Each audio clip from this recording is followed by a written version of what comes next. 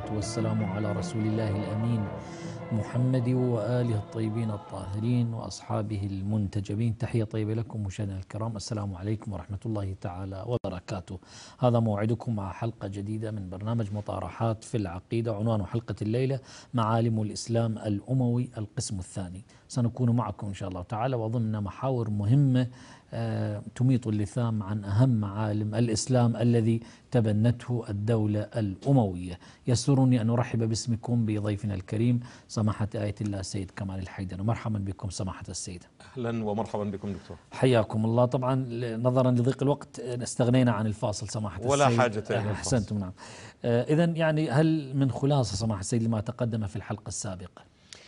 أعوذ بالله السميع العليم من الشيطان الرجيم. بسم الله الرحمن الرحيم. وبه نستعين. والصلاة والسلام على محمد وآله الطيبين الطاهرين.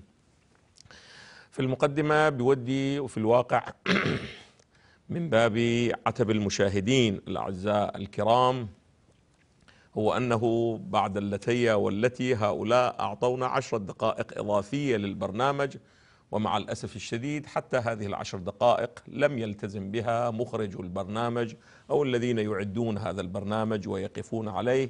وأرجو الله سبحانه وتعالى أن توفق لنا فرص أكثر من هذه سواء في هذه القناة أو في أي قناة أخرى لعرض مثل هذه المباحث الأساسية والتي قلنا في الأبحاث السابقة أنها تعد مفاتيح لفهم تاريخنا. الذي حاول الكثير أن يدلس فيه وحاول الكثير أن يخفي حقائق أساسية فيه. خلاصة ما تقدم في الحلقة السابقة والحلقات السابقة أيضا وأشرت إليه أيضا فيما سبق وبودي أن أشير إلى ملاحظة ثانية هنا في هذا البرنامج أنه المشاهد الكريم لا يتبادر إلى ذهنه أن برنامج المطارحات في المطارحات في العقيدة وبرنامج الأطروحة المهدوية بحثان منفصلان لا ليس الأمر كذلك. كما قلت في برنامج الأطروحة المهدوية أن كلا هذين البرنامجين يكمل أحدهما الآخر. بعض الحقائق نذكرها هنا ونستنتج منها النتيجة هناك أو بعض الحقائق نذكرها في ذاك البرنامج ونأخذ النتيجة هنا. في هذا القسم الجديد وفي هذه الحلقات التي عنونتها ببحث معالم الإسلام الأموي هو أنه أريد أن أبين أن البيت الأموي كان من أول دخوله في الإسلام يكيد للإسلام ولنبي الإسلام شرا. كان يريد القضاء على الإسلام النبوي الأصيل. كان يريد القضاء على علي وأهل بيته. بل كان يريد القضاء حتى على الصحابة الذين يجلون عليا وأهل البيت ولم ينسجموا مع الاتجاه الأموي والبيت الأموي. يكفي المشاهد الكريم أن يراجع هذا الكتاب وبودي أن يلتفت إليه لأنه كما تعلمون الوقت ضيق جدا فقط أنا أشير إلى المصادر لأنه كثير من الاتصالات جاءت المباشرة وغير المباشرة تطالب بأنه أعرف الكتب التي ينبغي مطالعتها للوقوف على الصورة الكاملة للاتجاه الأموي والإسلام الأموي. هذا الكتاب من الكتب الأساسية والمهمة وهو كتاب الإمام الحسين عبد الله العلايلي دار مكتبة التربية بيروت. في هذا الكتاب هناك في صفحة 31 هذه عبارته عبارة العلامة العلايلي. قال الحزب ولا أش ولا شك أن العلامة العلايلي يعد من مدرسة الصحابة لا من الاتجاه الأموي ولا من مدرسة أهل, أهل البيت. نعم. الحزب الأموي كاد للنبي للنبي صلى الله عليه وآله ولدعوته وعرفنا كيف أسلم زعيم الأموية أبو سفيان وعرفنا كيف لم يبق للأمويين أي مقام اعتباري في محيط الإسلام الذي كان ظهوره فوزا وغلبة للهاشميين.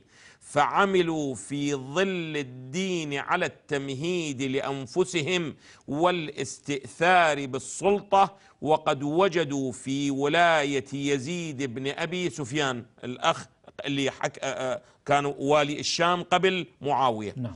وقد وجدوا في ولاية يزيد بن أبي سفيان وولاية معاوية من بعده على الشام خطوة أولى يستطيعون أن يثبتوا أقدامهم من بعدها ووجدوا فرصة سانحة للقيام بعمل خطير إلى أن يأتي في صفحة في صفحة 54 يقول الانقلاب الأموي أو الثورة على حكومة الخلفاء. الانقلاب الأموي أو الثورة على حكومة الخلفاء. ثم يقول في صفحة 55 وقد يستبعد كثيرون نسبة هذه الثورة الانقلابية التي قلبت كل الموازين القيم الإسلام الأصيل الصحا... أجلاء الصحابة كبار الصحابة أهل البيت وعلي وأهل بيته إلى آخره. انقلبوا على هؤلاء جميعا. وقد يستبعد كثيرون نسبة هذه الثورة الانقلابية إلى العصبة الأموية وأنها كانت مقصودة منهم. ولكن عندنا من النصوص والقواطع ما لا يحتمل معارضة أو مناصبة. وإني أنصح لكل الذين يشتغلون بتأريخ هذا الظرف أو هذه الفترة أن يقدموا بين يدي درسهم كتاب النزاع والتخاصم فيما بين بني أمية وبني هاشم. لتقي الدين المقريزي يقول آخر المطاف هسه الآن أبين ماذا قال المقريزي. يقول وغاية هذا الحزب الرئيسية جمع مقدرات الحكم في أيدي الأمويين. وهذا ما حصل متى؟ في زمن معاوية. استطاع أن يستلم كل أمر وصار أمين الواحي وصار خليفة رسول الله وصار الملك المجاهد وصار وصار وصار. ثم جاءت معالم الإسلام الأموي من من من الروايات الموضوعة التي وضعوها في فضائل بني أمية وفي فضائل معاوية وإقصاء علي وكذلك فيما يرتبط بأن كل من خرج على إمام زمانه حتى ولو كان باغيا تقتلك الفئة البائغة يكون مجتهدا ومأجورا على عمله حتى ولو قتل الصحابة حتى لو فعل ما فعل كما نعلم. يقول في أيدي الأمويين والاستيلاء على السلطة العليا بأية أسباب كانت منذ وفاة النبي. الآن أنا لا أريد أن أطيل. المهم بأنه الهم الأساسي أنني أريد أن أميز هذا الخط جيدا وهو نعم. البيت الأموي. طبعا من باب الإشارة حتى المشاهد الكريم يطالع هذا الكتاب وهو من الكتب الجيدة كتاب النزاع والتخاصم. رسالة لا تتجاوز ال 150 صفحة.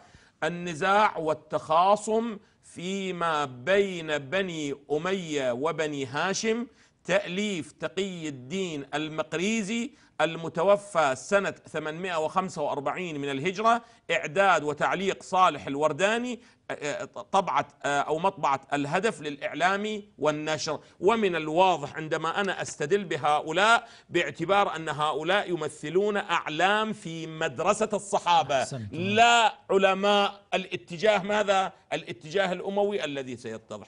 هذه الحقيقة التي بودي أنه أشير إليها هنا أيضا وهو أنه ينبغي للمشاهد الكريم أن يلتفت جيدا أن الإسلام الأموي والبيت الأموي أو الاتجاه الأموي واقعا على تقاطع تام مع مدرسة ماذا؟ الصحابة. مع مدرسة الصحابة وينبغي أن يلتفت إليه المشاهد الكريم إلى هذه الحقيقة ولا ولا ينخدع بتمويهات وتدليسات من يحاولون أن يعرفوا أنفسهم للناس أنهم مدرسة الصحابة وفي الواقع أنهم هم ماذا؟ أنهم هم الاتجاه الأموي والبيت الأموي. أحسنتم كثيرا.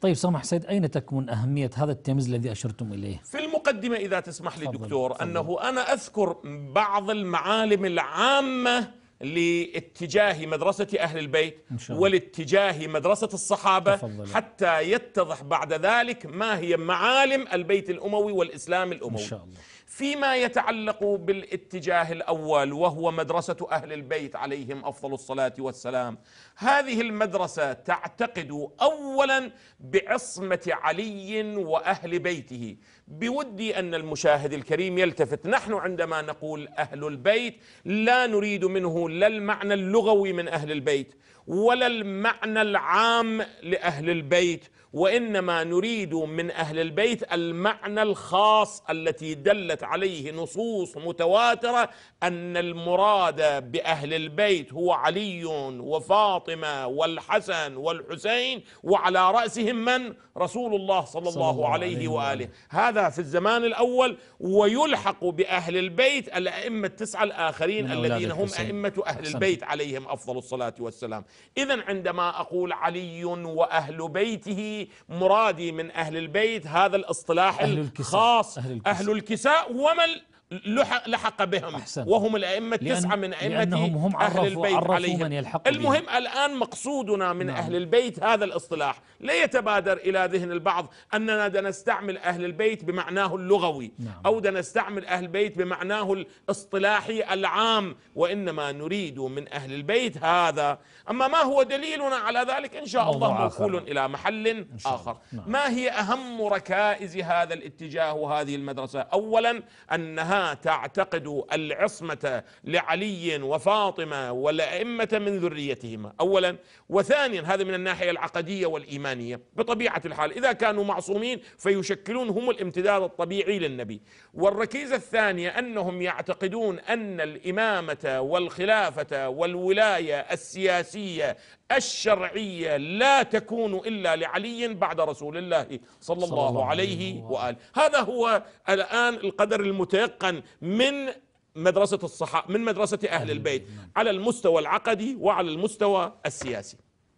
أما عندما ننتقل إلى مدرسة الصحابة مدرسة الصحابة لا تؤمن بكلا هذين الأصلين. يعني لا تعتقد لا بعصمة علي وفاطمة وأهل البيت ولا تعتقدوا عدم مشروعية خلافة الخلفاء الثلاثة الأول يعني الخليفة الأول والخليفة الثاني والخليفة الثالث. ومرارا ذكرت أنا عندما أعبر عن هؤلاء بالخلفاء مقصودي الخلافه بالمعنى اللغوي لا الخلافه بالمعنى الاصطلاحي. لا يتبادر إلى ذهن أحد. أنا عندما أقول الخليفة الأول أبو بكر الخليفة الثاني عمر الخليفة الثالث عثمان يعني أصادق على الخلافه الشرعيه لهم. لا ابدا. وإنما أعتقد هؤلاء خلفوا رسول الله. هسه بحق أو بغير حق؟ ونحن نعتقد أنهم خلفوه بغير ماذا؟ بغير حق لأن الخلافة كانت لمن؟ لعلي أمير المؤمنين عليه أفضل الصلاة والسلام. ولكن الذي يميز هذه المدرسة وهذا الاتجاه هم أنهم يعتقدون مقاما عاليا لعلي وأهل بيته ويعتقدون بأن هؤلاء لهم مقامات ولهم فضائل ويعتقدون أن حبهم إيمان وأن بغضهم ماذا؟ كفر وأن بغضهم كفر. لا أقل يعتقدون في علي وفاطمة هذا المعنى. لا أقل يعتقدون في, علي في علي. هسه الآن ما أريد أدخل الحسن والحسين واقعا. فقط في علي أنه لا يحبه إلا مؤمن ولا يبغضه إلا منافق, منافق. لماذا؟ لأن هؤلاء يعتقدون أن علي لا أقل هو واحد من العشرة المبشرة بالجنة وهي من الأحاديث الصحيحة المقبولة وإن لم ترد في الصحيحين. لا أقل يعتقدون أنه هو الخليفة العادل الرابع الذي من خرج عليه يكون ماذا؟ يكون باغيا وفاسقا ومستحقا للنار ما لم يتب. نعم.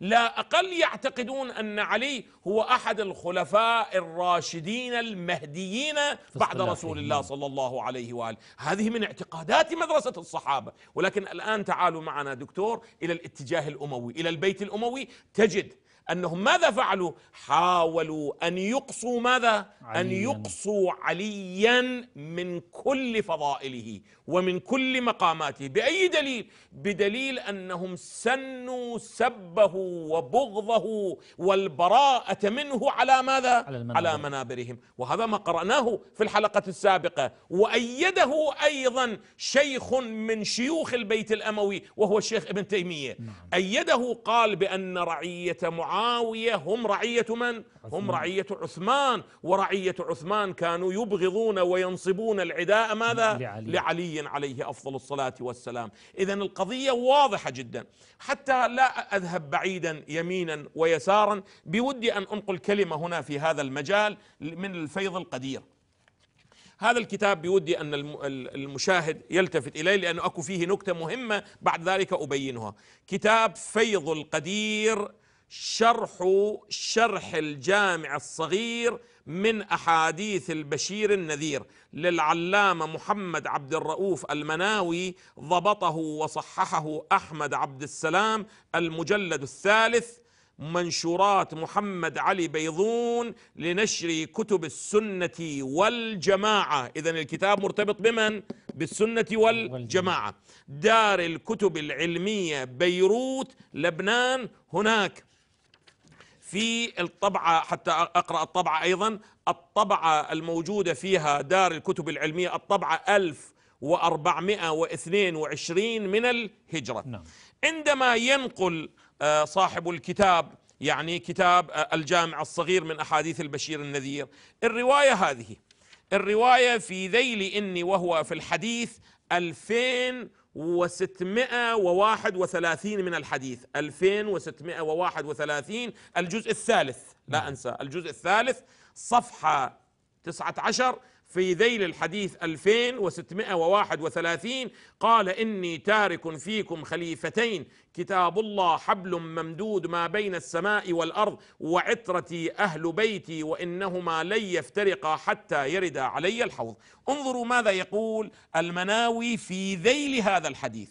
يقول وعترتي أهل بيتي تفصيل بعد إجمال. وهم أصحاب الكساء نعم. الذين أذهب الله عنهم الرجس وطهرهم تطهيرا. تطهيرا. إذا لا يشمل النساء النبي على خلاف ما يدعيه بعض الجهل. أهل الكساء نعم. وقيل من حرمت عليه الزكاة ورجحه القرطبي هذا رأي القرطبي يعني إن ائتمرتم إلى أن يقول قال القرطبي. من ده يقول؟ المناوي ده ينقل. يقول وهذه الوصية وهذا التأكيد العظيم بودي أن المشاهد الكريم يلتفت إلى هذه الجمل. وهذه الوصية وهذا التأكيد العظيم يقتضي وجوب احترام أهله. أهل من؟ أهل. أهل النبي وأهل البيت. وإبرارهم يعني البر بهم. وتوقيرهم ومحبتهم وجوب الفروض المؤكدة. أحسنت لأنه فر... ليس. كالصلاة وسائر بل العبادات. المؤكدة نعم. التي لا عذر لأحد في التخلف عنها. هذا مع ما علم من خصوصيتهم بالنبي صلى الله عليه وعلى آله وسلم. وأنتم تعلمون هذا التعبير تعبير من؟ نعم، أهل تعبير تعبير مدرسة الصحابة. نعم. وبأنهم يعني أهل البيت جزء منه فإنهم أصوله التي نشأ عنها وفروعه التي نشأوا عنه كما قال فاطمة بضعة مني ومع ذلك. التفتوا إلى هذا المقدار أنت تجد في كلماتي هذا وذاك ينقلون هذا النص. يعني سواء سواء كان من مدرسة الصحابة أو غيرهم هذا المقدار ينقلوه عمن؟ نعم. عن العلامة المناوي هنا. ولكن أكو الذيل لهذا المطلب هذا الذي يدلسونه على الناس لا يقرؤونه من هذا الكتاب. يقولون ماذا؟ يقول فقابل بنو أمية عظيم هذه الحقوق بالمخالفة والعقوق. أحسنت. هذه القضية كانوا الأصلية. عاطين ها مخالفين. ها, ها, ها ال- ال- المشكلة الأصلية في البيت الأموي ماذا؟ ليست هي قضية أنهم يعلنون أشهد أن لا إله إلا الله فتحوا الفتوح أو لم يفتحوا الفتوح وإنما التزموا بوصية رسول الله في حديث الثقلين. أبدا أبدا. لا فقط لم يلتزموا دكتور وإنما ماذا؟ انظروا ماذا يقول المناوي. يقول فقابل بنو أمية بودي أن العبارة تخرج. فقابل بنو أمية عظيم هذه الحقوق بالمخالفة والعقوق. فسفكوا من أهل البيت دماءهم وسبوا نساءهم وأسروا صغارهم وخربوا ديارهم وجحدوا شرفهم وفضلهم واستباحوا سبيهم ولعنهم ولعنهم. فخالفوا المصطفى صلى الله عليه في وصيته وقابلوه بنقيض مقصوده وأمنيته. فوا خجلهم إذا وقفوا بين يديه ويا فضيحتهم يوم يعرضون عليه, عليه. نعم. المشكلة الأصلية التي توجد في بني أمية هذه هذه التي مر عليها الشيخ ابن تيمية هذا الذي يعبرون عنه بشيخ الإسلام قال نعم لم يأخذوا على بني أمية إلا وأنهم تكلمهم علي. تكلم تكلمهم ولم يقل لعنهم لعلي ولم يقل سبهم لعلي ولم يقل. بغضهم وقتلهم لعلي ولأهل بيته لا تكلمهم في علي حتى يستسهل الأمر يخفف حتى الوطأ. حتى يستمرئ الأمر حتى يدلس على الأمة الإسلامية ما فعلت بنو أمية بأهل البيت الذين أمر الله أمر الله بمودتهم لا أقول بطاعتهم حتى لا يقول القائل أنه لم نتفق على طاعتهم ولكن اتفقت كلمة علماء المسلمين على وجوب طاعته على وجوب مودتهم وعلى وجوب احترامهم وعلى. وجوب توقيرهم الصلاة عليهم وعلى الصلاة. وجوب الصلاة عليهم. لم يختلف في ذلك إلا خارج عن الإسلام.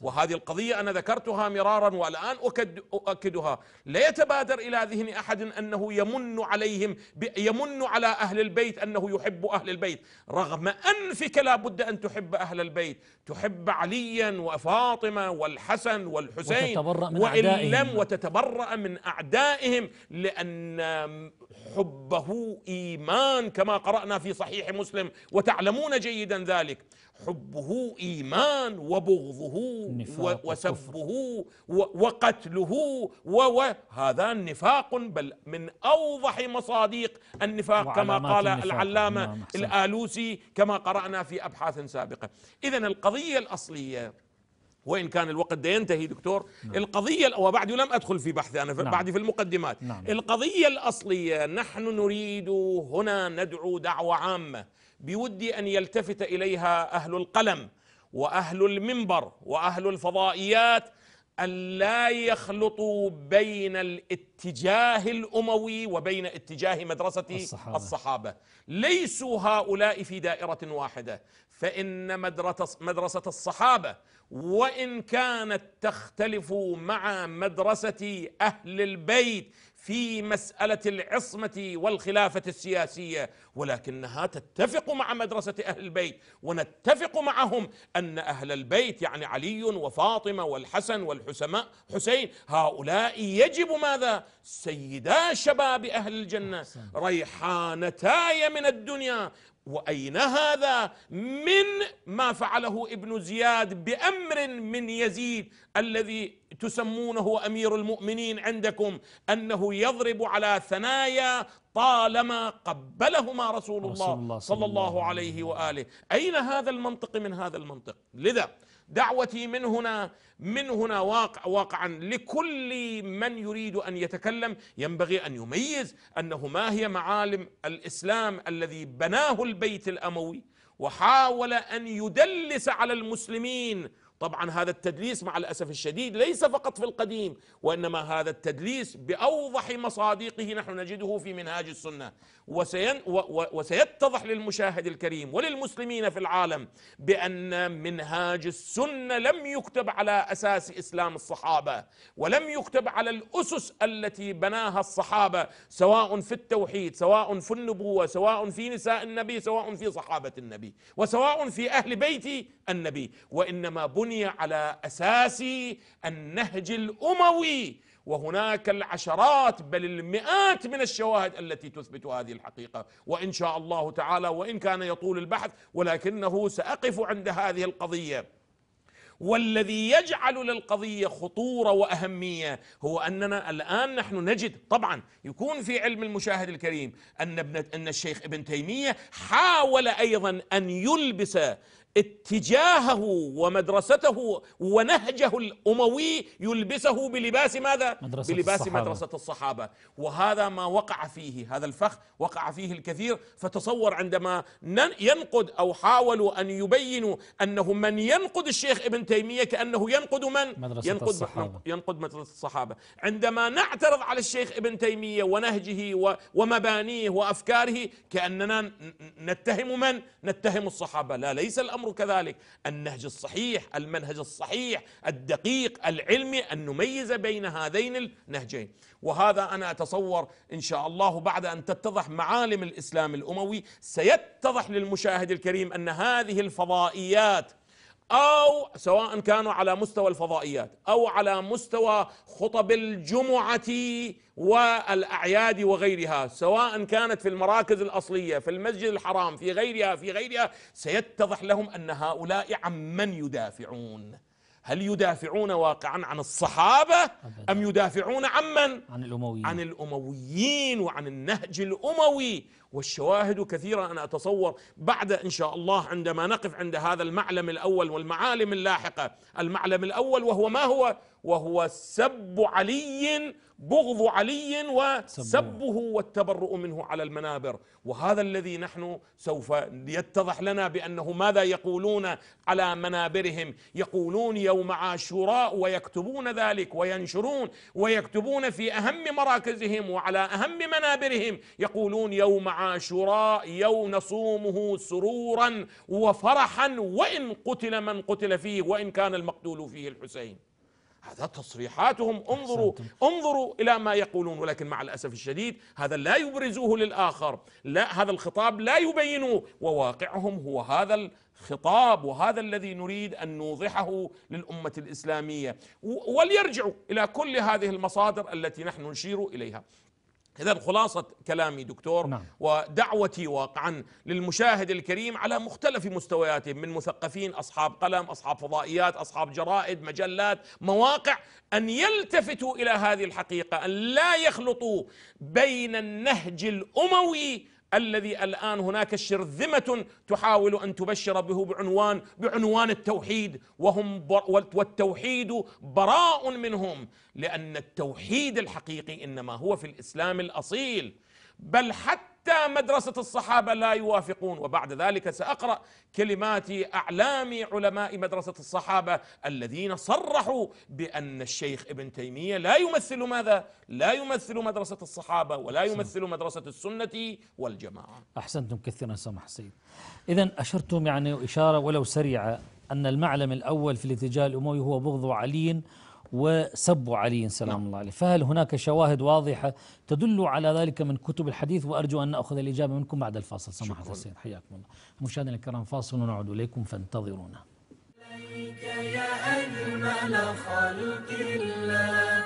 عليك يا أجمل خلق الله. صلاة الله سلام الله. صلاة الله سلام الله عليك يا أجمل خلق الله.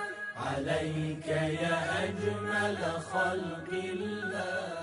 صلاة الله سلام الله. صلاة الله سلام الله. عليك يا أجمل خلق الله. عليك يا أجمل خلق الله. صلاة الله سلام الله. صلاة الله سلام الله. عليك يا أجمل خلق الله. عليك يا أجمل خلق الله.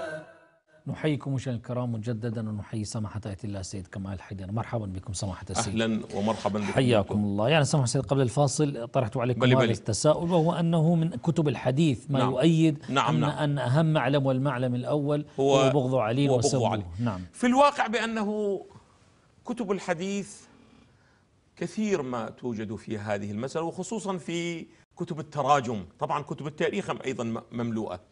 يتذكر المشاهد الكريم. نحن في الحلقة السابقة نقلنا رواية من تاريخ الطبري المجلد الخامس من تاريخ الطبري بودي أنه تخرج على الشاشة. تاريخ الطبري روائع التراث العربي. تاريخ الطبري تاريخ الأمم والملوك لأبي جعفر محمد بن جرير الطبري. المتوفى, المتوفى سنة 310 من الهجرة تحقيق محمد أبو الفضل إبراهيم المجلد الخامس في صفحة 200 و واحد و بلي في صفحة 253 نعم. ثم دخلت سنة 51 ذكر ما كان فيها من الأحداث يقول إن معاوية بن أبي سفيان لما ولى المغيرة بن شعبة الكوفة نعم. في جمادى سنة 41 دعاه من معاوية نعم. فحمد الله وأثنى عليه ثم قال أما بعد فإن لذي الحلم قبل اليوم ما تقرع العصا وقد يجزي عنك الحكيم بغير التعليم وقد أردت إيصاءك بأشياء كثيرة فأنا تاركها لا أوصيك بتلك الأمور الكثيرة ولكنه وصية واحدة لا يمكنني لا أن يمكن اتنازل نعم. فأنا يمكن قرأنا هذه العبارة في لا لا ما قرانا نعم. فأنا تاركها اعتمادا على بصرك بما يرضيني ويسعد سلطاني تلك الوصايا الكثيرة أنا أتركها. ويصلح به رعيتي. ولست تاركا إيصاءك بخصلة. كل شيء أتركه وأتركه إلى بصيرتك نعم. وإلى ما تعرفه من المصلحة. إلا هذه الخصلة. خشية أن تنساها أو لا تعرفها. أو, أو أنه تقول بأنك لم توصني بها. و ولست تاركا إيصاءك بخصلة. لا تتحمى أي لا تتورع. لا تتحم عن شتم علي وذمه. إياك أن تتوانى في هذا الأمر. أبدا هذه القضية التي لا أرحم فيها سلطاننا أحدا. يقوم عليها. التفتوا جيدا. نعم. بل روايات هكذا. سلطانهم يقوم على ماذا؟ على إقصاء علي لأن الإسلام الأصيل إنما هو هناك على إله. بل حتى على إقصاء إقصاء الصحابة الذين ماذا؟ يجلون عليا. حتى لو لم يؤمنوا بعصمته وسيتضح لاحقا ذلك. قال لا تتحم عن شتم علي وذمه والترحم على عثمان والاستغفار له. التفتوا جيدا. إن شاء الله في المعلم الثاني ستأتي الروايات الموضوعة التي وضعوها ماذا؟ في بيت وفي فضائل البيت الأموي وبالخصوص من؟ معاوية ويزيد. نعم. والترحم والعيب على أصحاب علي والإقصاء لهم وترك الاستماع منهم وبإطراء شيعة عثمان رضوان الله عليه كما موجود في تاريخ الطبري. والإدناء لهم والاستماع منهم. هذا الذي أنت بعد ذلك ستجد في في منهاج السنة واقعا أينما ورد ذكر علي. فلا بد ماذا؟ إما أن تنقلب المنقبة إلى إلى مذمة وإلى قدح ثم لا تجد مثيل ذلك في عثمان أو في معاوية. كله مدح أنهم أعز الله بهم الإسلام أنهم العظماء الذين بشر بهم في التوراة وهكذا. قال فقال المغيرة في جواب هذه الوصية من معاوية فقال المغيرة قد جربت وجربت وعملت قبلك لغيرك فلم يذمم بي دفع ولا رفع ولا وضع فستبلو فتحمد أو تذم. قال بل نحمد إن شاء الله. قال أبو مخنف قال ابن زهير سمعت الشعبي يقول ما ولينا إلى أن يقول وأقام المغيرة على الكوفة عاملا لمعاوية سبع سنين واشهرا اذا القضية لم تكن ماذا؟ يوم ويومين سبع سنين. واشهرا وهو من أحسن شيء سيرا منه المغيرة بن شعبة. نعم. وأشده حبا للعافية غير أنه لا يدع ذم علي والوقوع فيه والعيب لقتلة عثمان واللعن لهم والدعاء لعثمان بالرحمة والاستغفار له والتزكية لأصحابه. ثم تأتي هنا قصة حجر بن عدي اللي الآن مو بحثنا هذا نعم. اذا هذا التاريخ بشكل واضح وصريح في تاريخ الطبري اللي هو من تقديما تقريبا من أقدم التواريخ الموجودة يشير بشكل واضح وصريح إلى وصية وهذا من كتاب معاوية ورسالته نعم. هذا أول. نعم. ويتذكر المشاهد الكريم نحن في الحلقة السابقة قرأنا ماذا من صحيح مسلم أنه أمره أمر سعد بن أبي وقاص ماذا؟ قال لماذا لا تسبوا عليا أو نعم. لا تسبوا بهذا الاسم؟ نعم. ولكن قد يقول القائل في كتب الحديث نعم كتب الحديث صحيح مسلم ومن كتب الحديث ومن كتب الحديث. ومن كتب الحديث هذا الكتاب الذي سأقف عنده قليلا وهو المستدرك في الصحيحين. الجزء الجزء الأول صفحة 385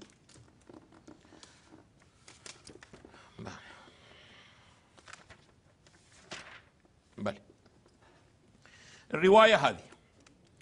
بودي أن المشاهد الكريم يلتفت. هذه المستدرك على الصحيحين. في الحديث المستدرك على الصحيحين في الحديث للحاكم النيسابوري. وفي ذيله أنا يقين عندي الآن بعض الجالسين يقولون المستدرك لا يعتمد على رواياته. سيتضح لكم أن هذه الرواية يعتمد عليها أو لا يعتمد. لا تستعجلوا قليلا. المستدرك على الصحيحين في الحديث للحاكم النيسابوري وفي ذيله تلخيص المستدرك لمن؟ للذهبي للإمام الذهبي للحافظ الذهبي الذي هو من الأعلام في هذا المجال. المطبوع الجزء الأول في دار الفكر.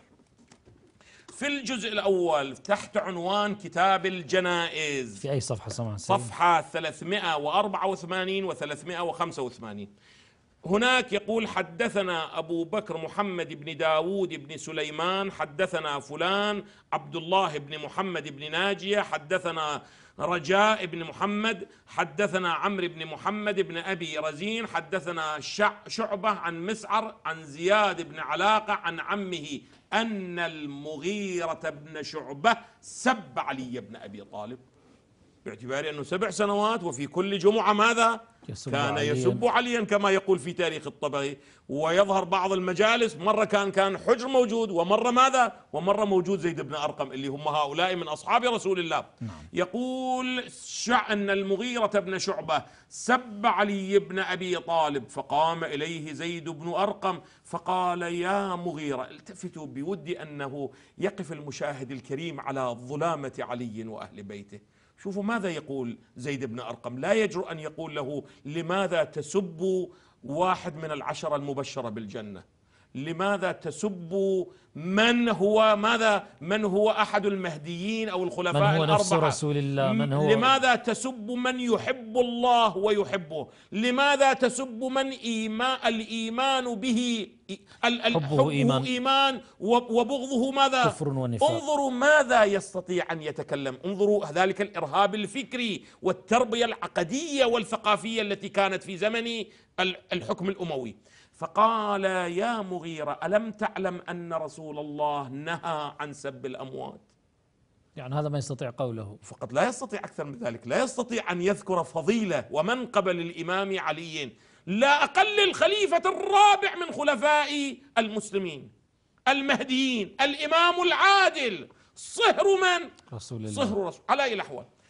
ألم تعلم أن رسول الله نهى عن سب الأموات؟ فلم تسب عليا وقد مات؟ التفتوا جيدا. ماذا يقول الحاكم في المستدرك؟ يقول هذا حديث صحيح على شرط مسلم. هسه هناك بحث في أن كل تصحيحات العلامة النيسابوري في المستدرك صحيحة أو غير صحيحة؟ الآن أنا لا أريد أن أدخل إذا صار وقت أدخل. في بحث مفصل في هذه القضية وأنه لماذا بدأوا يشككون في الحاكم النيسابوري صاحب المستدرك على هذا وأمثاله نعم. لماذا يشككون؟ لا أريد أدخل ولكن هذا الحديث بالخصوص انظروا بعد لا تشككون فيه ولا يستطيع أحد أن يشكك في تقييم الإمام ماذا. والحافظ الذهبي. في ذيله يقول فقام إليه زيد بن أرقم فقال يا مغيرة ألم تعلم أن رسول الله فلم ت... فلم تسب عليا قال على شرط ميم بودي أنه في الخ... في ال... في, ال... في ال... يخرج يعني شرط على مسلم. شرط ميم يعني على شرط ماذا مسلم. على شرط مسلم يعني هذا الحديث صحيح على شرط. ماذا أحسنتم. يعني الحافظ الذهبي أيضا ماذا وهو متعنت لا و- يقبل أي حديث و... لا هو نعم. هو يدافع عن بني أمية أحسنتم، دفاع المستميت عن معاوية وأمثال معاوية دفاع المستميت أحسنتم. أصلا يشكك في حديث في مضمون ماذا التفتوا جيدا يشكك في مضمون حديث حبه إيمان وبغضه. الآن أقرأه للمشاهد دفاعاً الكريم عن معاوية،. يدا يد- حتى أنه لأنه يعرف بأنه إذا قبل أن بغضه نفاق وسبه معاوية نفاق منافق، إذا نعم. منافق يكون. ولذا هو يحاول ماذا؟ أن أن. يدفع هذا النص. يقول مع أنها أصحها ولكن أشدها حيرة. وقعا يحتار في هذا النص. التفتوا. هسه قد قد يأتي قد يأتي شخص ويقول نحن لا نقبل حتى الحافظ الذهبي. الإمام الذهبي والحافظ والعلامة الذهبي. جيد جدا.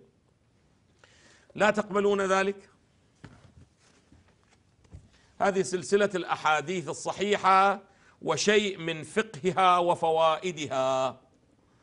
تأليف إمام المحدثين المعاصرين إمام الحديث بتعبير اعلام هذه المدرسة اللي تسمي نفسها السلفية. المدرسة السلفية وإن كنت أنا لا أوافق على هذا الإصطلاح هؤلاء هم الاتجاه الأموي. وليس الاتجاه ماذا؟ السلف. السلفي. السلف, السلف يعني الصحابة السلف الصالح. وهؤلاء ليسوا يمثلون السلف من الصحابة وإنما يمثلون ماذا؟ السلف من البيت الأموي. على أي الأحوال.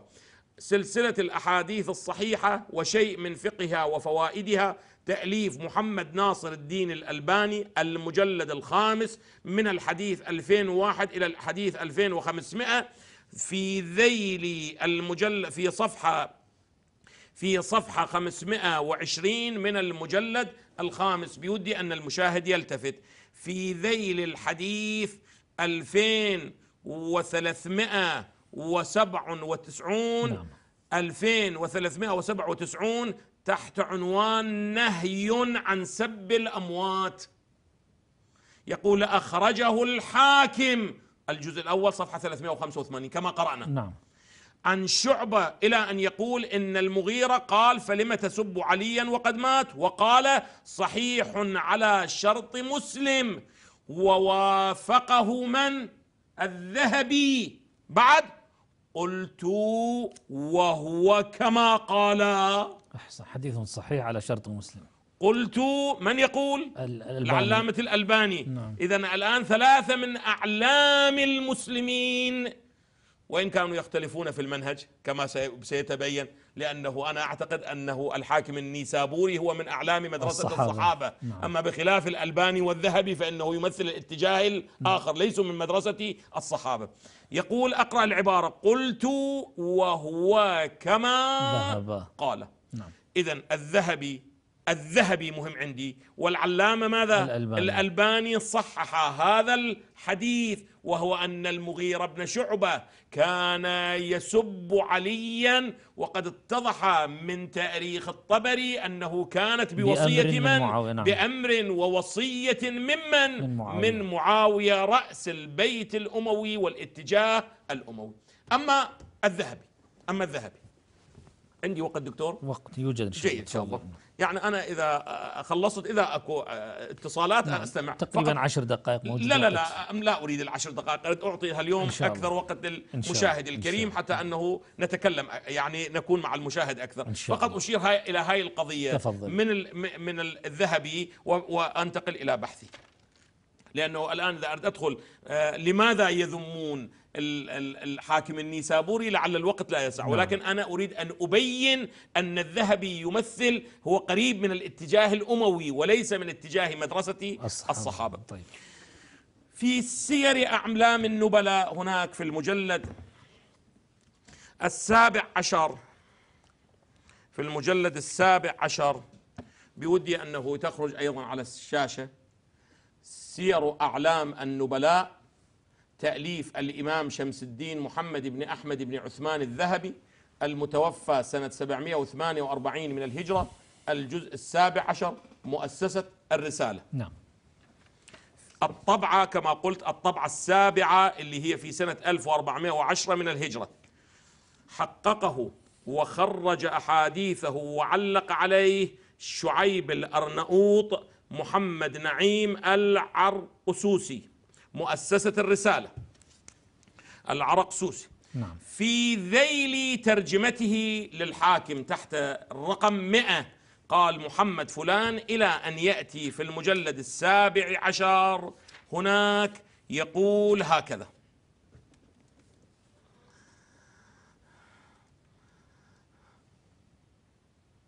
وقد جمعت من يقول؟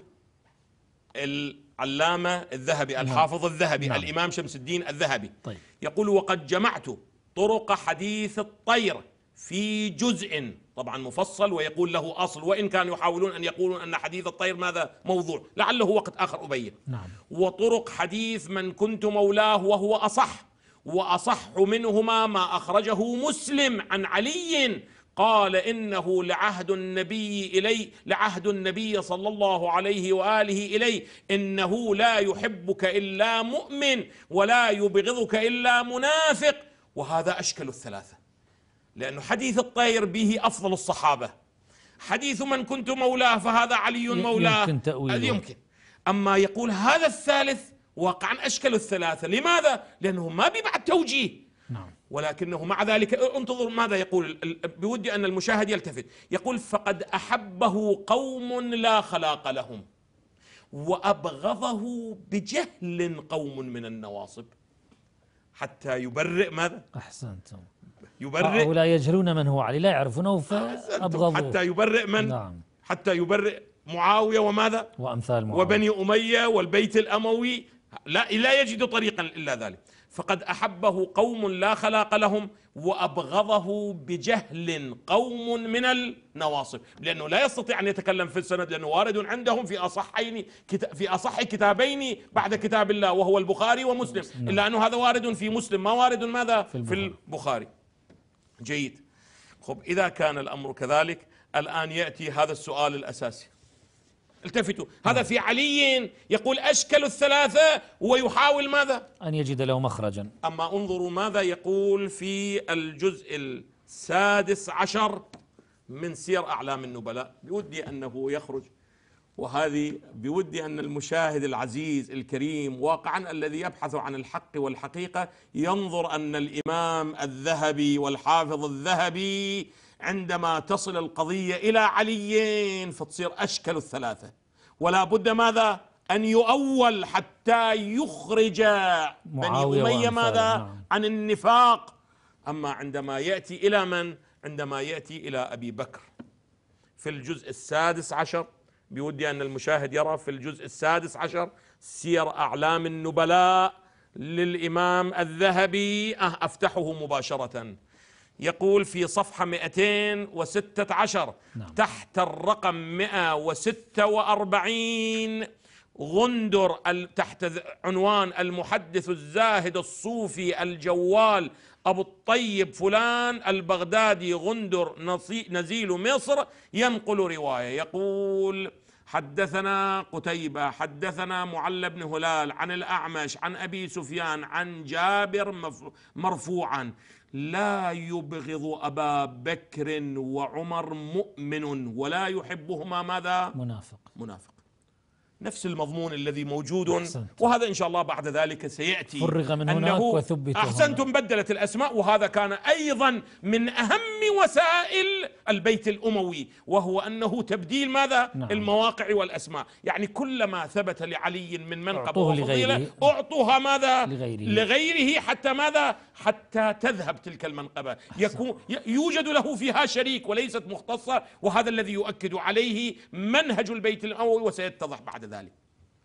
قال لا يبغض أبا بكر وعمر مؤمن ولا يحبهما منافق. الارنؤوط في ذيلها يقول بل اتفق اتفق النقاد على تكذيبه. تكذيب هذا الحديث؟ تكذيب هذا الحديث يقول هذا الحديث كذاب كاذب لا واقع نعم. ثم يقول انظر تاريخ بغداد وتاريخ الإسلام والبداية والنهاية وشذرات الذهب يذكر أربعة مصادر أن هذا الحديث ماذا؟ مكذوب. موضوع. التفت إلى تعليقة تعليقة الذهبي مهم عندي. المشاهد خليه يلتفت. يقول ومتن الحديث حق. ولكنه ينسى أن يكون متن الحديث وهو وارد في صحيح مسلم. ماذا؟ حق يقول أشكل ولكنه أحبه قوم لا خلاق لهم وأبغضه بجهالة نواصل. ولكنه عندما تصل القضية إلى من؟ إلى غير علي إلى خليفة. إلى الخليفتين الأول والثاني يقول ومتن الحديث حق لكنه ما صح مرفوعا حتى على هذا المستوى لم يصح لكنه ما صح ماذا مرفوعا. إذا فيقبله على كل علة على. المهم حتى لو لم يقبله ولكنه يؤكد على صحة ماذا؟ مضمونه مضمون ومتنه. الحديث. ولكن عندما يأتي إلى علي ماذا؟ يشكك فيه. هذا هو الذهبي. ولذا عندما يؤكد الذهبي على صحة حديث سب الإمام مغيرة بن شعبة سب الإمام علي بعد القضية أوضح من الشمس حتى يؤكد عليها أمثال الذهبي. جزاكم الله خيرا. إذا نشرك بعض الإخوة سماحة جيد، جيد. السيد. معنا الأخ دخيل من السعودية تفضلوا. أخ. دخيل تفضلوا. مساء الخير. نعم لا يوجد عندنا صوت تفضلوا. مساء الخير. طيب. ألو. نعم إذا لا يوجد صوت أصلا لا يوجد صوت داخل الاستوديو لا أعلم. نعم. ألو. طيب. إذا إذا أيضا إذا أكو نعم، إشكال لا- لا نسمع، فن إذا لا أكو إشكال نسمع. فني حتى نستمر في بحثنا. إذا إذا يوجد اتصال في فإننا لا مقدمة في نسمع مقدمة البحث لا أكو إشكال ومؤخرة نعم. البحث أكو إشكال. طيب نعم. إذا يعني صوت لا يوجد. إذا نستمر أخ آم، يوسف نستمر في الحديث إن شاء الله تعالى. نعم. طيب. إذا الظاهر أنه لا هسا حتى. يعرف يعرف ال- ال- ال- ال- ال- المشاهد الكريم ظلامة هذا البرنامج واقعا. في مقدمة ال- البحث مولانا فيه حلقة ومسلسل مولانا لابد أن ينتهي حتى يبدأ باعتبار أن هذا البرنامج يعد من الدرجة الثانية والثالثة فلا بد أن يتأخر. طيب، في مؤخرة الآن- الحديث أكو إشكال في الأصوات. الآن الآن سمح السيد الآن؟ سيبدأون بإصلاح الخير إن شاء الله. نعم. إذ إذا يعني واضح سمح السيد من كلامكم أنه توجد هنا الازدواجية وعدم الإنصاف في المعايير. ه- هذه أمامكم. نعم. الآن ما ما يرجع إلى أرجع إلى حديثي نعم. في الحاكم في المستدرك. نعم. في الواقع بأنه من القضايا المنهجية التي اتبعها الاتجاه الأموي قضايا منهجية. وعندما أقول قضايا منهجية يعني ليست في مورد وموردين وثلاث هو أساس وأصل يسيرون عليه وهو أنه كل من حاول أن يذكر منقبة وفضيلة يفضل بها عليا على غيره إذا فهو شيعي أو رافضي خبيث حتى ولو كان أمثال من؟ أمثال الحاكم النيسابوري حتى ولو كان أمثال من؟ ابن أبي الحديد حتى ولو كان أمثال من؟ الشافعي الجنجي حتى ولو كان من؟ القندوزي. الحنفي حتى ولو كان الزمخشري حتى ولو كان ابن عبد رب بل حتى حتى الأمير الصنعاني قال هو شيء- متشيع شيء لا يصدق وأنا بودي هنا أن تلتفتوا عندما يأتي شخص ويتهم أحدا بأنه شيعي خبيث اعلم أنه هذا من مدرسة الصحابة مرة أنه واضح أنه من مدرسة أهل البيت وما عندنا مشكلة ومرة لا كما الحاكم ال- ال- المستدرك في الحاكم المستدرك في الحاكم أنت لو تطالع مقدمة الكتاب تطالع فهرس الكتاب تجد بأنه يمشي على مدرسة الصحابة أحسنت. لا يعتقد لا بعصمة أهل البيت ويثني على ولا- الصحيحين. و- مو لا مو على الصحيحين يثني على الخلفاء الثلاثة يقول أنا يكفي إذا عندي وقت دكتور نعم يوجد اتصال ولكن استمروا جيد نعم. جيد انظروا هذا الجزء الثالث للمستدرك على الصحيحين في الحديث للحاكم النيسابوري وفي ذيله كذا الجزء الثالث منه. أنا فقط بودي أنه المشاهد الكريم يلتفت إلى أنه ماذا يقول الحاكم النيسابوري؟ يقول أحاديث في آخر الجزء الثالث في آخر الجزء الثالث يعني في فهرست الجزء الثالث يقول أحاديث فضائل الشيخين رضي الله عنهما يعني من؟ أبي بكر أبو وعمر. بكر وعمر ثم يقول أمر النبي لأبي بكر بإمامة الناس في الصلاة يتجلى الله لعباده عامة ولأبي بكر ماذا؟ خاصة. خاصة مخاطبة الصحابة أبا بكر بيا خليفة رسول الله مناقب أمير المؤمنين عمر بن الخطاب هذه النص اللي وارد ماذا هنا سبب تلقيب عمر بأمير المؤمنين. أول من يعانقه الحق يوم القيامة عمر. لو كان بعدي نبي لكان عمر. إن الله جعل الحق على لسان عمر وقلبه ثم بعد أن يذكر فضائل عثمان يأتي يقول فضائل علي بن أبي طالب. اذا بينكم وبين الله مثل هذا الإنسان يمكن تصنيفه أبداً. على مدرسة أهل البيت أبداً. أبداً. أنه شيعي يمكن أو لا يمكن أبداً. لا لا. يمكن ولكنه انظر إلى الذهبي عندما يأتي إليه ماذا يعرفه التفتوا جيدا أنا بودي أن المشاهد الكريم يلتفت جيدا هذا المعنى ال- ال- ال- ال- ال- الذهبي عندما يأتي إليه في الصفحه في الصفحة الجزء السابع عشر من سير أعلام النبلاء يقول وصنف وخرج وجرح وعدل وصحح وعلل وكان من بحور العلم على تشيع قليل فيه هسه بعد ذلك أبين السر لماذا يتهم أمثال الحاكم النيسابوري اللي قرأنا ماذا يقول في كتابه نعم. في في الخلفاء الثلاثة على تشيع فيه ثم يأتي إلى صفحة ثم يأتي إلى صفحة 174 بودي أنه تخرج. أنه أنه سأل أبا إسماعيل عبد الله أنه سئل أبا إسماعيل عبد الله المهروي عن أبي عبد الله الحاكم فقال ثقة في الحديث رافضي خبيث. لا إله إلا الله. ثقة في الحديث. له صاحب بحور العلم إمام. بعد ذلك سيتضح رافضي خبيث. قد الذهبي التفت جيدا يمن على الحاكم النسابوري يقول قلت كلا ليس نعم. هو رافضيا بل هو يتشيع. هذا مصطلح جديد عرفنا أحسنت. أنه هناك فرق بين الرافضي وبين ماذا أحسنت. وبين يعني. الشيعي. يحب عليا يتشيع فقط يحب علي لكن لا لا لا لا نعم. ابدا ابدا ابدا فق مو فقط وإنما يذكر الروايات الصحيحة الواردة عن النبي صلى الله عليه وآله في علي. هسه لماذا سبب واحد حتى أنه إن شاء الله نعم وقت- أطلنا على الاخ لا لا خلي أكمل بحثي نعم. ما دام آه، انتهيت إلى هذا البحث هسه لماذا لأنه يذكر حديث الطير لعلي بن أبي طالب. قال اللهم ابعث إلي أحب الخلق ماذا؟ إليك. الي هذا اللهم أحب. لماذا ينقل حديث الطير؟ اذا هو ماذا؟ شيعي خبيث. شيعي أو رافضي خبيث أو يتشيع. مو فقط هذه. التفت جيدا. يقول وكان منحرفا غاليا عن معاوية. آه المشكلة هنا. وهنا الكبرى المشكلة الكبرى. المشكلة الكبرى هنا في صفحة 175 يقول وكان منحرفا غاليا عن معاوية وعن أهل بيته أهل بيت منه؟ معاوية. تبين أنه معاوية عند أهل بيت نعم مثل من؟ الت- التطهير هناك لا بلي بلي هناك بلي بلي نعم. يتظاهر بذلك ولا يعتذر منه يعني يصرح بأنه ماذا يلعن معاوية يتبرأ من معاوية وأنه منافق عليه أن يعتذر. وأنه وأنه وأنه ولذا ينقل يقول فسمعت أبا الفتح سمعت فلان سمعت فلان دخلت على الحاكم وهو في داري لا يمكنه الخروج إلى المسجد. لأنه ماذا؟ لأنه فيه ما فيه. وإن كان ص... وإن كان من مدرسة الصحابة.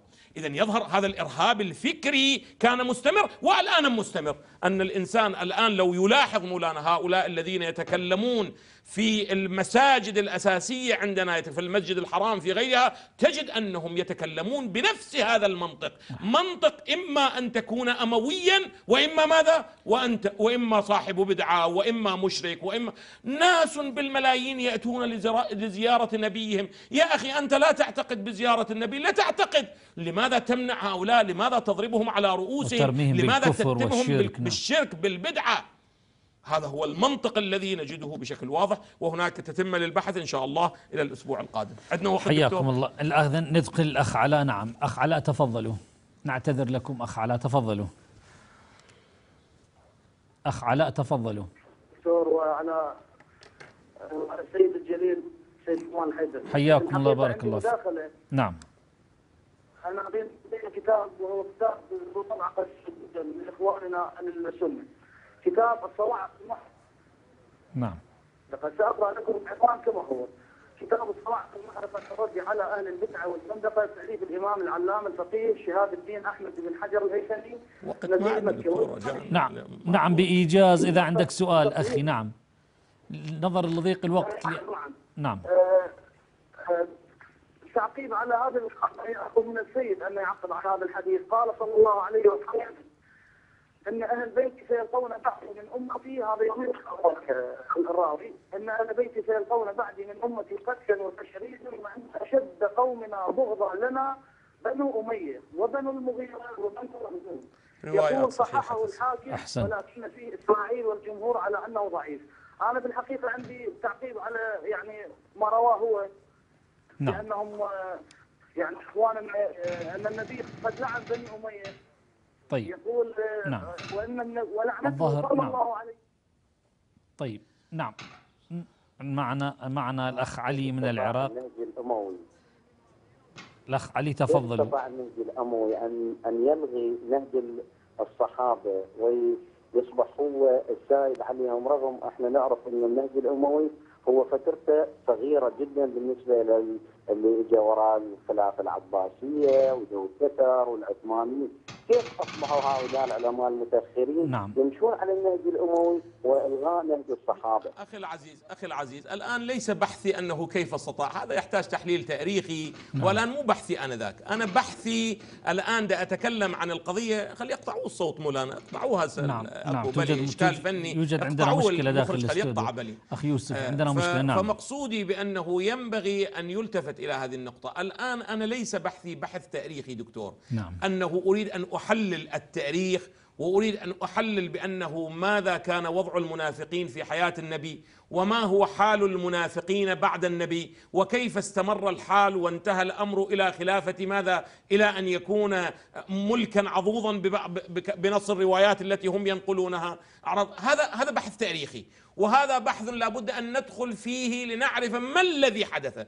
الآن أنا لست بصدد بحث لماذا حدث هذا وكيف حدث هذا. لعلي أوفق تاريخيا أن أبحث وان شاء الله أبحث. نعم. ولكن مهم عندي أن هذا وقع. أحسنت. هذا وقع. نعم. اذا لابد أن نلتفت جيدا ونميز بين هذه الاتجاهات الثلاثة. اتجاه مدرسة أهل البيت نعم. اتجاه مدرسه مدرسة الصحابة واتجاه البيت الأموي. أحسنتم. آخر اتصال في حدود دقيقتين عندنا سماح السيد. الأخ حسين من السعودية تفضلوا. السلام عليكم. عليكم, عليكم السلام السلام ورحمة الله. مساء الخير. السلام عليكم سيدنا. كيف صحتكم؟ مرحبا بكم. آه، أنا حصلت متاخرا على كتاب من مكتبة العبيكان. باسم على ساحل ابن تيمية للدكتور عاير القرني. طيب. وهذا الكتاب في حياة الشيخ ابن تيمية وفيه فيه مقطع بعنوان كلامه مع الرافضة في صفحة 46 نعم. التعليق لو سمحت. نعم تفضلوا تفضلوا. يقول من أحسن كتب شيخ الإسلام على الإطلاق منهاج السنة. نعم. ولو ذهب ذاهب من مكة إلى الصين حافيا ماشيا لطلب هذا الكتاب لكان سفره قليلا. فإن الرجل بحق أتى بكتاب لم يسمع بمثله وجادت قريحته بهذا المؤلف المبارك فبين كل البيان بالأدلة الشرعية القاطعة وبالحجج العقلية وبالحوار الصادق وبالكلمة الجريئة الناصعة مخالفة الرافضة لأهل السنة واعتدائهم على أصحاب الرسول وسبهم للشيخين وكذبهم وافترائهم وعدم معرفتهم بالنقل وعدم صدقهم وعدم وضوحهم في المنهج. والعجب في هذا الكتاب أنه يستدرج خصمه ويستنزله. ثم يضعه فيه ثم يطم عليه ويتركه مكانه. ومنهاج السنة ظهرت فيه أمور. منها الانتصار لأهل البيت ولأصحاب رسول الله. ومنها بيان الكذب والزيف الذي دخل على الأمة من طريق الرافضة. ومنها أن الحق ما كان عليه أصحاب الرسول في أهل البيت وفي أصحاب الرسول عليه الصلاة والسلام وفي المعتقد وهو الذي عليه أهل السنة وأتباع السلف الصالح. هذا أحسنتم شكرا. حياكم شكرا. الله. وهذا الذي أريد أن أميزه يعني كل هذا البرنامج همه الأصلي واقعا. وسيتضح لاحقا إن شاء الله تعالى هذا الذي وصف هذا الكتاب به أنه هكذا أو أنه واقعا يمثل الاتجاه الأموي في قبال اتجاه الصحابة. أحسنتم كثيرا. ويعني الآن الأخ حسين جزاه الله تعالى ذكر هذا الإطراء وهذا المدح بل في واضح لا كلهم وهو, يقولون. وهو الذي يقول أن النواصب خير ممن يحب بلي عليا. بلي بلي, بلي أحسنتم. يعتقد بأنه النواصب الذي الذي ناصبوا العداء لآلية هو خير ممن شايعوا وأحبوا عليه. عليا أحسنتم سماحة آية الله سيد. كمال حيدر أشكركم شكرا جزيلا. كما أشكر الإخوة والأخوات. وإن شاء الله تعالى تواصل الحديث معكم. إلى اللقاء. والسلام عليكم ورحمة الله تعالى وبركاته. الله يا الله. الله سبحان الله.